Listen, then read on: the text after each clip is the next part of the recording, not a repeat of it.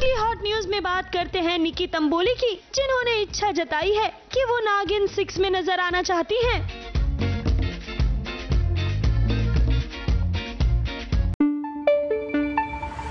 न पाबंदी हो, न कोई हद हो। हो तो बस खुद बनाई सरहद हो। ये मुहिम है परतों में छिपे हर सच की तलाश की, सियासत पर रखी पहनी नज़र और आँख की। खबरों की दुनिया में एक जिम्मेदार आवाज़ की। जुर्म और जुल्म के खिलाफ हर बेबस के लिए इंसाफ की।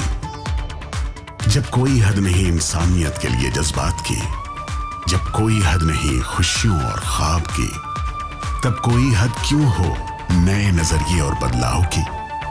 तोड़ के हदों के ताले नए सपनों को पाले, बांधे सबको एक धागे। आपको रखे आगे। ABP news